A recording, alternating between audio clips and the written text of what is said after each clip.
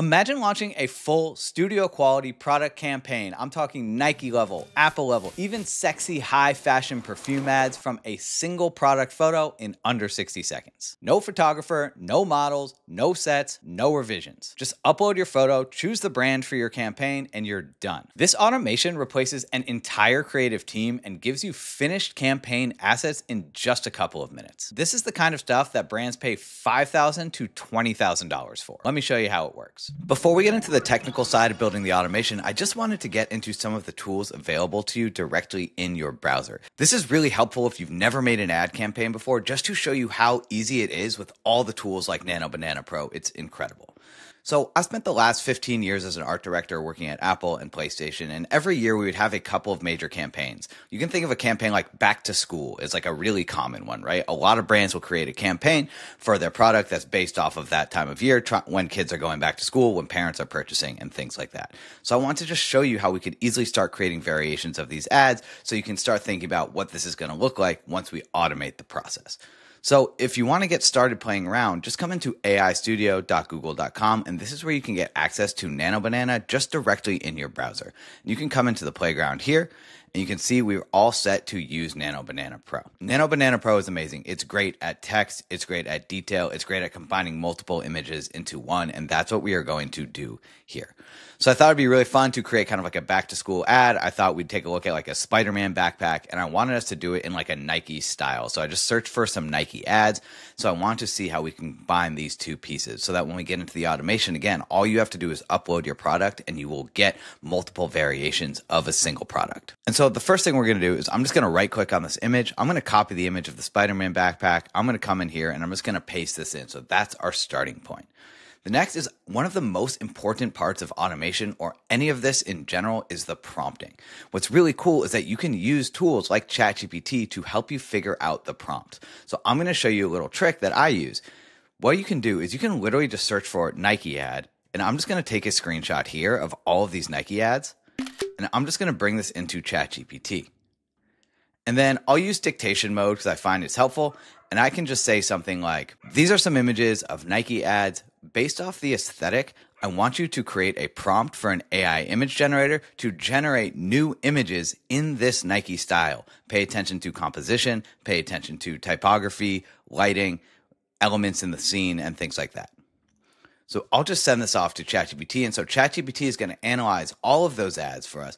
And then it's going to create a prompt for us. You can see this is describing what a Nike ad is supposed to look like. Cinematic, high contrast sports photography in the classic Nike aesthetic, a single athlete captured mid action with decisive documentary style framing. So, this is super, super helpful. So, we can continue to build and refine from there. And so, remember, I said Google AI Studio is great at combining multiple images. Well, what if I wanted to put me wearing this backpack. So I just have some images of me like from my YouTube channel and I just want to take one of these. There's a great tool that you can use. I'm just going to copy the link to this video. And this is a great tool. I literally just searched YouTube thumbnail download and I clicked on this first link and you can paste in any YouTube URL. And now I have this image of me, this thumbnail all ready to go. So I can just take a screenshot of this too. And I'm going to go ahead and I'm also going to drop this into Google AI Studio. So now I have both the images referenced and ready to go. Now there's one last piece to put it all together, right? We need to create a prompt to have me wearing the Spider Man backpack in the style of a Nike ad. So I'm just going to bring the image of me and I'm going to bring the image of the Spider Man backpack back into ChatGPT. So I'll just use dictation mode again. Uh, now I need a prompt for an AI image generator. It needs to combine the image of the man with the Spider Man backpack in the style of a Nike ad. And the theme should be back to school. So the ad should be back to school focused. So I will send this off. And now we're combining all three of these elements to create a prompt for Google AI Studio or Nano Banana. I'm not going to read this all for you. You can pause here if you want to read this, but this is the prompt it created. So I'm just going to copy this. And now we can bring this back inside of Nano Banana or Google Studio to get the image created. And this should just take a couple of seconds to run. While we're doing this, there's a couple of other parameters I just want you to look at. One is the aspect ratio. So you can have this set to auto. You can do one to one, which is square. 9 by 16 is vertical, which is great for social media, or 16 by 9 is widescreen, which you'll see on YouTube. These are the most common formats. 4 5 you also see a lot in social media. And then now what's cool about Nano Banana Pro is the resolution. You can get all the way up to 4K resolution images, which is pretty incredible. And so now you can see here, like, look at this image. Look, this is me wearing the Spider Man backpack in the style of a Nike ad. Find your start, Nike, just do it. Like in just a couple of seconds, we have this incredible image. So this is really great for one image. But what if we want to create a second one? Give me a completely different angle or perspective on this style of Nike advertisement, again, featuring the man and the backpack in the style of a Nike ad with the theme back to school. So this gave me a totally new prompt. Instead of being in front of a school, you can see the man sits on the edge of a bed at dawn in a dim room lit by a single hard light. Awesome. So I'm just going to paste this into, and now we'll get a new perspective. And so you can see how many variations you can create really quickly using this in the browser. But what's cool about doing this with automation is all you need to do is upload an image of your product, and the automation will take care of generating all of these different angles for you so you don't have to go through one by one. This is incredibly fast. This took 22.6 seconds to generate. You can see here, this is me. This is a Spider Man backpack. Start strong with the Nike swoosh. This looks incredible in just a couple of seconds. Now that you understand this, I want to show you how you can automate this process. In order to do that, we'll be using my favorite automation platform, N8N, and we'll also be using the service Kie AI, which gives you access to all the latest AI image and video generation models so you can connect them to N8N. And so I'm just going to show you in here real quick. If you go into Nano Banana Pro, I just want to show you the parameters that we're going to be working with today should feel really familiar. We just did this, right? So we have the prompt. This is where you input the prompt. This is where you input any reference images.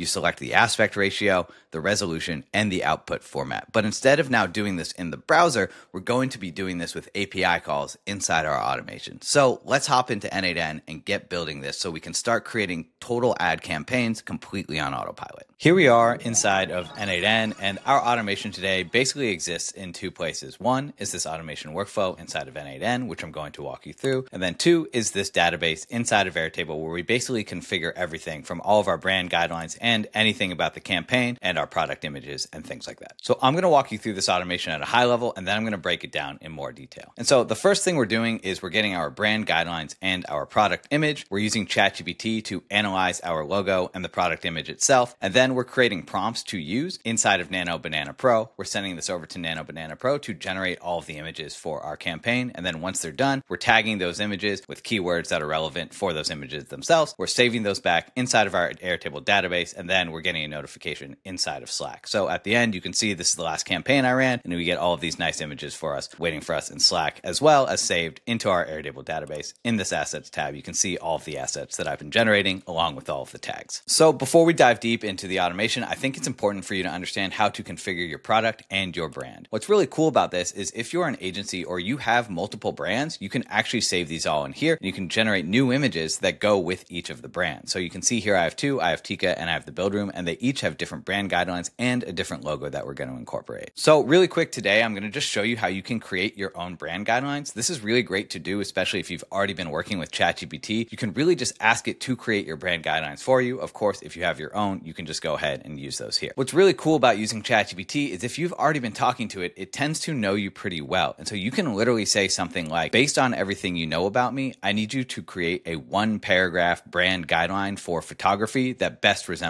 my brand. You can send off something like that and you can see what ChatGPT is going to bring back for you. And of course, you can have a back and forth conversation with ChatGPT to kind of get what you want. So you can see build room photography is stripped to the essentials, high contrast, founder centric, and utilitarian, et cetera, et cetera. And so if you want to copy and paste this, you would just go ahead and bring this into your database, paste this into your brand guidelines, upload your logo, and you are good to go. The next thing you're doing is you are bringing in the product you want to create your campaign around. And so here I just have a product, it's Crocs. And in this case, I want to create like a Nike style campaign, right? And you can do the same thing like using ChatGPT. So I can just come in here and I can copy this image and I can come into ChatGPT and I can say, create a one paragraph campaign description for a photography shoot that looks like a Nike ad featuring these Crocs. You can just send off something like that and ChatGPT again will create all of your campaign guidelines. So now you have your brand guidelines, you have your logo, you have your product and the campaign guidelines. And of course, you can adjust this to your own liking. A Nike style campaign for this Crocs silhouette treats the shoes like performance gear built for grit. So I'm just going to go ahead and I'm going to copy this. And why don't we just go ahead and update our campaign guidelines inside of Airtable. And then what's really cool is that you can change this configuration here. So if we go ahead and click this plus, now you can see we have access to both of the two brands that we have in our brand configuration. So I'll go ahead and select the build room here. And then this is how many images you want to generate for your campaign. Right now I've set this to four and we're basically all good to go. So I'm just going to come into N8N and I'm going to click execute workflow and then I'm going to walk you through everything that's going on. So in order to run this, go ahead, click execute workflow, come back into your database and just go ahead and click generate. And now we sent in the data with our photo, the brand guidelines, and any information about our brand. And you can see we've already gone through and pulled in that information from our Airtable records. And so here we've just gone into Airtable and we've used our record ID, which is coming from that webhook, just to go ahead and get our record. And this is pulling in all of the information about our product. And we're doing the same thing down here for our brand. And then this node right here is we're just sending a message into Slack that basically says that our image is processing. And it's gone ahead and you can see here if we come into Slack, it says UGC image processing, and this is the image that we're working with. So we know the system is working. The next thing we're doing is we're using two analyze image nodes from OpenAI. If you never set these up before, just come into OpenAI. I hit tab on the keyboard to access the side panel and go ahead and click OpenAI and just use analyze image. And then from there, we're just bringing in our logo coming from our logo URL. You can see we're just dragging this logo into here. And from here, we've just given it some really basic guidelines on how we want it to describe the logo. So describe the logo, include the brand name or text, any primary colors used, or any key visual elements. Really simple stuff. And you can see on the output here, it says the logo features three black horizontal rectangles stacked in a staggered ascending pattern. And if we come back, we can go ahead and we can look at our brand. And this is exactly the logo that we're working with. Next, we're doing a very similar thing, but we're analyzing the image of the Crocs in this case. If you're enjoying this content so far, please make sure to like and subscribe to the channel. This allows me to know which content you want more of. This is where a lot of the magic happens. This is the area that is totally customizable to you. So if we come in here again, we're bringing in the URLs. In this case, we're using the get UGC assets here because this is where our product photography lives and we're just dragging that in here. And then we're going to go ahead and give it this prompt and we're just saying create, in our case, four distinct professional marketing imaging prompts for the original subject. And in this case, it's Crocs. And so again, if we come into here, all we're doing is pulling in the number of variants, the product name. It just says you're going to receive an uploaded image. We want to make sure that our new images like are really true to the product. We don't change the product around a lot. We're keeping the same body shape, the same face if we have a person in the shot. We're able to change the background to have different types of settings depending on our campaign instruction. We have some guidelines for different angles and compositions like dramatic or low angles or wide angles, again, depending on what makes sense for the campaign. And then we're just giving it some more ideas for lighting and things like that, as well as information about the logo, which we're just bringing in from our analyze image node here. So at the end, we're just outputting four different prompts and it's in this really long format. And this node, unfortunately, doesn't output four distinct separate prompts. And so we're just using a separate ChatGPT node to basically break that up into four different prompts. And so this comes out in a specific JSON format, which we can then split up. And you can see we have prompt one here, we have prompt two number here, we have prompt three here, and so on and so on. So now we've been able to split these up so we can send these individually to a service called Kie AI, which uses Nano Banana to actually generate our images. And we're using Nano Banana Pro, which is the latest model, which creates some really incredible images. This is Kie AI. This is a site that gives you access to all the latest AI image and AI video generators. And you can use all the generators directly here on the site. Or if you go into these API documentations here, this is what we're using to basically get access to it through our N8N workflow. And here are all the parameters we can use, like the prompt, any of the input images, like our logo and the product, the different sizes and aspect ratios, the resolution, and then the output format, like a JPEG or a PNG. And so here we're just sending over all of our information to Kie AI using this JSON format. We're saying we want to send this to Nano Banana Pro because it's the latest and greatest. We're sending the prompt over. We're sending our input image. Again, this is our logo and the image of the Crocs, and then giving it the output format that we want. And then from there, we're just waiting 30 seconds to see if the image is done because it takes a little bit of time to generate. We're checking to see if the image is done. If it isn't done, we're just looping back around and waiting for another 30 seconds. If it is done, we're just updating the record in Airtable with our images. We're generating all of the tags for those images and then updating the record with the Crocs to include all of those tags and then sending our status back over to Slack. So if we open up this if node, you can see we're looking to see that this state down here is equal to success.